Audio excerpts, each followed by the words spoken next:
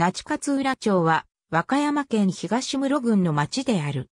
ユネスコ世界遺産、紀伊山地の霊場と三景道の熊野エリアに当たっており、紀伊半島でも有数の観光地として多くの観光客が訪れる。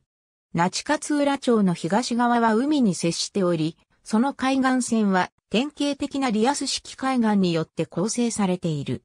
そのため入り組みが激しく、また気候が黒潮の影響で温暖なので、町内には天然の良港がいくつか存在する。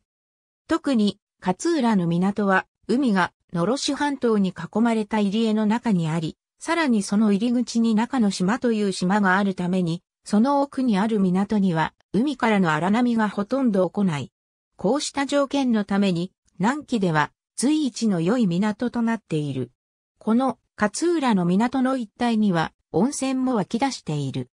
那智勝浦町の町並川関で、撮影のロシ半島山地串本町との境には、八郎山が新宮市との境には、那智山の一角をなす、烏帽子山、光が峰などがある。那智勝浦町の西側一帯の山岳地帯、特に熊野信仰の聖地の一つである那智山の一帯は観光地として名高く、多くの観光客が訪れる。また、妙法山の色川小麦峠は、色川富士見峠と呼ばれ、那智勝浦町によると最も遠くから富士山が見える場所とされる。富士山町からの距離は322.9キロである。河川小城地区に流れる二級河川の物々川は全長13.5メートルで、法で指定された河川としては日本最短である。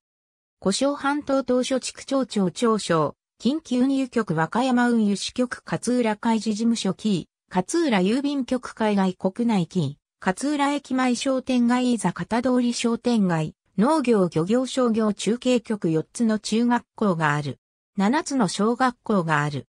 キー勝浦駅道の駅那地勝浦港中心となる駅、キー勝浦駅路線バス高速道路、国道県道港湾西岸と地味等と那智滝南紀、勝浦温泉。ありがとうございます。